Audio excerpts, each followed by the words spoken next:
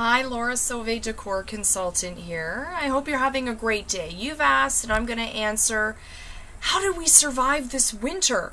With the coldest February on record, every time I turned on CBC radio, I was hearing about everybody other everybody else's sticks and bricks homes freezing pipes still frozen people carting their buckets of water upstairs to defrost in their bathtubs so they'd have water to flush their toilet or brush their teeth Chad and I are living in an RV, which everybody told us you can't do in the wintertime, and we've had none of those issues. I want to share with you today how we've achieved that in hopes that uh, you can be successful too. All right, so let's start with a few of our supplies, okay? The number one thing I can say to RVers, and I'm sure a lot of you have seen on my posts on Facebook, spray foam the underneath of your trailer. So don't do the tip outs for obvious reasons. You wouldn't be able to put them back in. Um, but make sure you do the underneath of the trailer's frame as well as the gray and black water tanks all the way up to the valve. Okay, so the valve stem, you want to ensure that that's spray foamed. Do not spray foam the valve that you're going to pull. Um, the spray foam, I am convinced, is, is has been what made the difference for Chad and I this winter in having a fully functioning plumbing system, right? So we've been able to run water for our dishes, to wash our hair, to have showers, to flush the toilet. We've been able to discharge our black water tank. So, you know, we've been able to use our trailer like a like a house. A lot of the people in the park we're at now have skirts as well. A lot of those have frozen over even though they have skirts, okay? They have not spray foamed their tanks. We've come out of the coldest February, I think it was like on average minus 20 something. We had many weeks where it was minus 30, 35. We had zero uh, freezing in the tanks. So that's my biggest tip right there, spray foam underneath. Okay, then we skirted so many different skirt ideas. There's fabric, canvas fabric, vinyl uh, fabric skirting you can get. Some people just threw up some dingy plywood. Chad and I wanted to go a route that would add more R value, that would be more sealed, um, and wouldn't be vulnerable to high winds. So I came up with a, an idea that I hoped would work, and it has. I, we bought one inch styrofoam panels that you can get at your home home hardware or local store, whichever, um, Home Depot, whatever home improvement store you'd like. They're one inch. It's got green on one side and silver on the other side.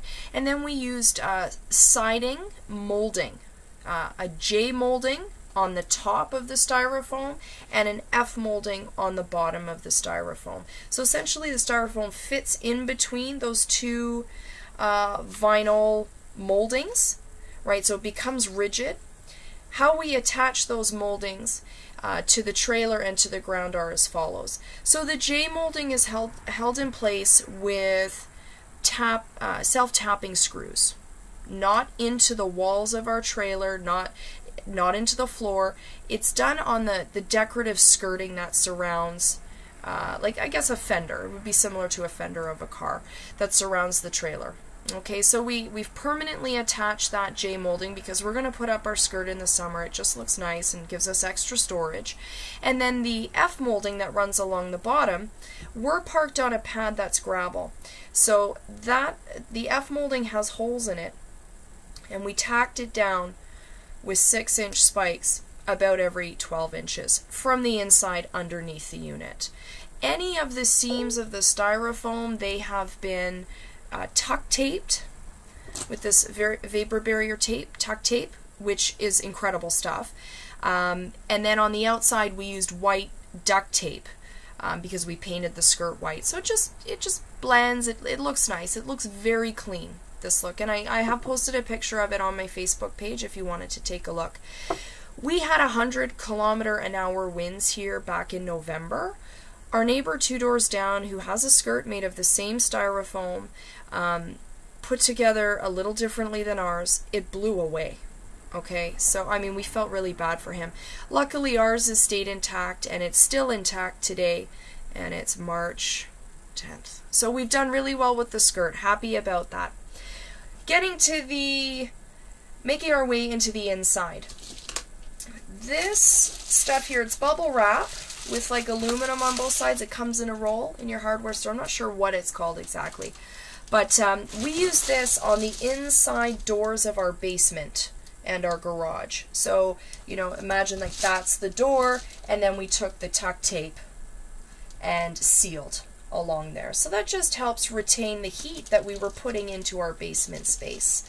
All right, so essentially what we did in our bedroom, there are two heat uh, furnace ducts, heating ducts. And I said to Chad, I think we can get away with one because we have a small electrical heater up in our bedroom as well.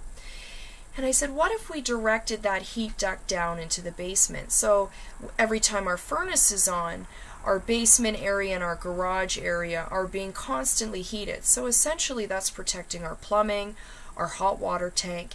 It's also saving energy for us. Because we, we've done that, we don't have to have our hot water tank on 24-7 because it's, it's in an environment where it's between 70 and 75 degrees.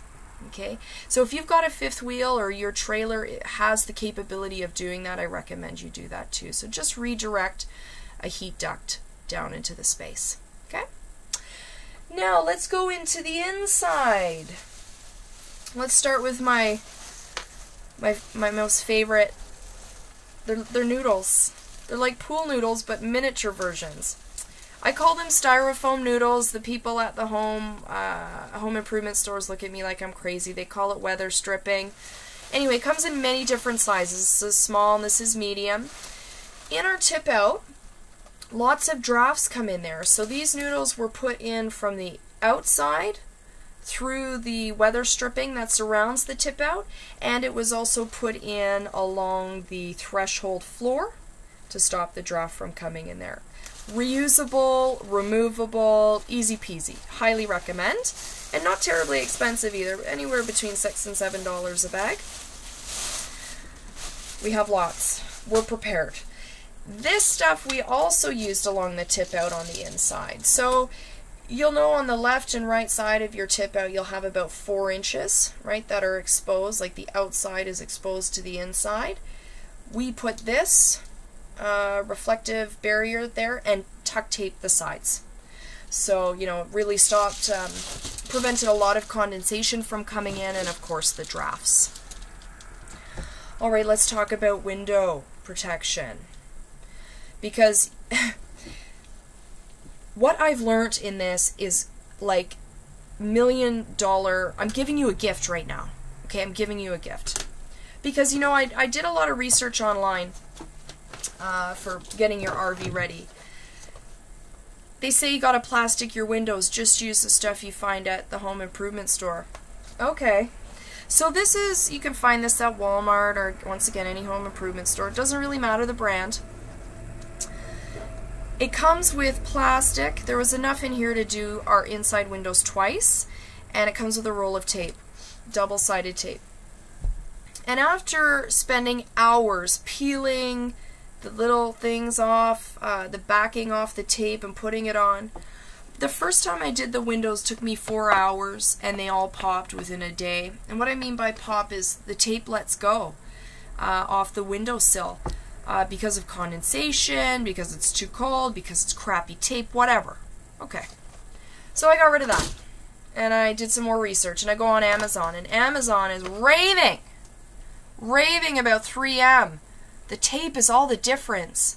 3M's tape, it's like a new generation.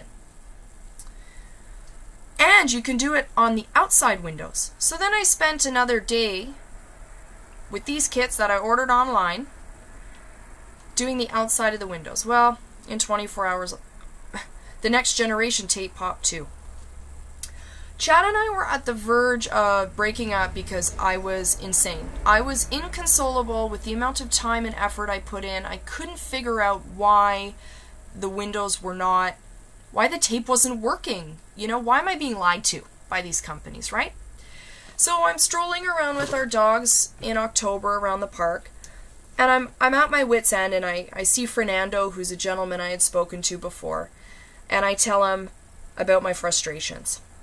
And he says to me, you know, I'm I'm I used to be in the automotive industry, and there's a tape, it's called Dum Dum tape. I don't know the real name, he says. But I'm going to give you a piece, and I want you to try it with your plastic. Fernando, if you're watching, I love you. This is butyl tape, folks, also known as dum dum tape. So that's B U T Y L. It's an automotive tape. It's used for windshields, to hold in windshields. So it's strong, it's waterproof, and it remains flexible. That's the key. Okay, this is the secret to the success of the window plastic. So as you can see, it's about a quarter inch wide, about an eighth of an inch thick. And all you do is you run this in the track of the window seams. RVers, you'll know exactly what I'm talking about. Okay, you run it right around. It's so beautiful. You can use a rolling pin, but I have a wallpaper seam roller. You roll it on. So you leave this tape on, you put it on the plastic. I'm just trying to see if I can demonstrate for you. And you roll it. Okay? And it's stuck. And then you peel off this in one swoop, not four hours of work. And you put on your window plastic and you roll the window plastic so it's secure onto the the dum dum tape, the butyl tape. You trim the excess you shrink it down a little bit, not too much because you want to leave some flexibility, right, for when the drafts come. And voila, you're done. I think all the windows took, when I got this Dum Dum tape, I think the windows took me an hour, right, between the cutting and putting this on. It has stayed in place. It is brilliant. You've seen my videos posted showing all of the frost buildup the ice buildup that happens when you get past minus 20 in these, these temperatures.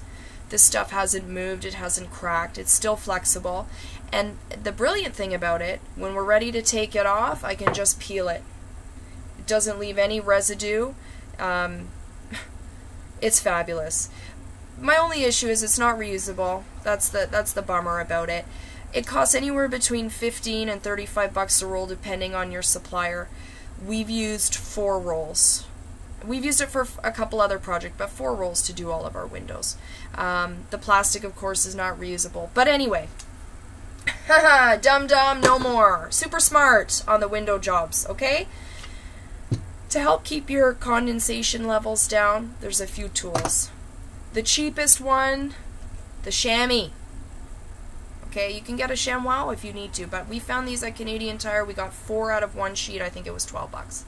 You can wash them, dry them.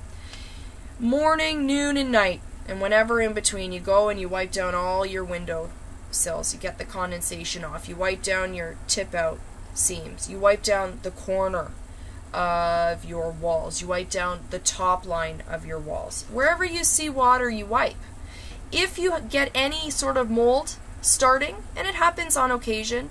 Just get a little spray bottle with a quarter inch of bleach, the rest water, spray it, and wipe. Done. Okay? And the dehumidifier. This is the EvaDry 1100. Alright, probably the 2200 would have been a little bit better because it's a bit bigger. It's based on volume of space. No compressors in these dehumidifiers. Can you hear it? It is so is whisper quiet. Tiny, compact, perfect for a tiny space. Easy to use. We have this one and another hanging one that actually doesn't have a fan on it. It just, the air goes through and it has the little, um, oh my gosh, I don't know what, to, silica sand type crystals. And whenever they turn pink, you know it's ready to re-dry. Chad takes it to work, plugs it in. Anyway, dehumidifiers are about $150 in total. Amazon. Uh, but you can also try EvaDry directly on their website. I'm exhausted just talking about the winter and all the prep work we did. Okay, um, but you know what? It's been it's been awesome to say we've survived and we've come through. In regards to cost, this is what everybody wants to know. Well, our, our skirting cost us about a thousand dollars. I had estimated two thousand before, but that was an error in calculation. So about a thousand bucks with the styrofoam noodles, the window plastic, the window plastic failures, um, the skirting, and the spray foam. Sorry if I repeated anything in there, but that's how much it costs for, for that, most of which will be reusable come next year or still be in place. Okay? Um, all of your cupboards that are behind doors, so that's where you keep your clothes, where you keep your books, wherever your kitchen cabinets, wherever the doors stay closed, you'll want to put that same one inch styrofoam. You'll want to beef up your walls in those spaces. So you'll want to put the styrofoam in, fitting perfectly to that space, and then once again taking the tuck tape and going around and sealing those. That will prevent mold building up on your clothes, your clothes being smelly because they're damp. It will also prevent the big drafts that come in if you have your kitchen cupboards open while you're making dinner. Um, and the good thing about it is you can leave it during the summer too. You don't need to take that down when you move. Okay, so cost for running and living in a RV in the wintertime. Our most expensive month for both propane and hydro was February because of its record temperatures. Our propane was $220. So that's about four propane cylinders that we rent here from the park, uh, 100 pound cylinders. And our hydro is just over 100, I think $123. All the other months, the other like January and December were between 150 to 184 for propane and under $100, about anywhere between 90 and $99 for hydro. So when I add up winter and summer and extrapolate it over 12 months, we're looking at about $100 a month for propane and electricity. So it's good. It's better than a typical house. It's not the most fuel efficient and energy efficient home, obviously, because it's an RV, but our next house will be like an R value of 30, and hopefully we'll be able to heat it with a candle. So, anyway, let me see, I'm just making sure I've got everything. Ah, how did my decor finishes stand up to the condensation and the wiping and the dripping water and the mold and all of that, right?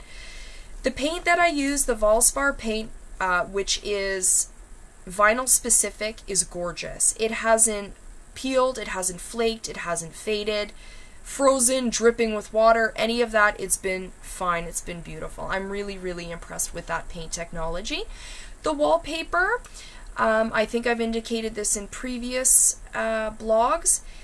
Make sure that you prep your walls using a wallpaper primer. So that's going to make the wall even stickier for the wallpaper. It makes it um, like sandpaper. It makes it so it gives it such a strong tooth. So because I did that, all of our wallpaper is still up. I'm sure you can see it there in the corner. Um, but there are there are a few parts that are separating. So the seams, some of the seams have come and started to split open. Um, up along our top line, we have a few a uh, few pieces peeling there. But you know what? When the warm weather hits, I'll just bring some of my wallpaper paste and I'll repaste those. No problem. I'm really impressed with how the wallpaper has uh, endured these temperatures. So it, it's not a fail by any stretch. It just requires a little bit of TLC. as does anything tiny or RV. Anyway, I hope you've enjoyed my information. Sorry I'm always making long blogs, but I want to get you all the information that you need. If you've got any questions, follow me on Facebook at Laura Sauvé Decor Consultant. And if you need help, if you need help with your uh, space to reimagine it, I'm the gal to talk to. Have a great day. Bye for now.